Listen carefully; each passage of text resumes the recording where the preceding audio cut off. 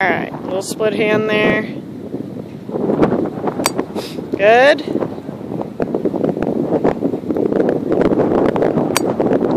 Not bad there. Now hold your finish on this next one, okay?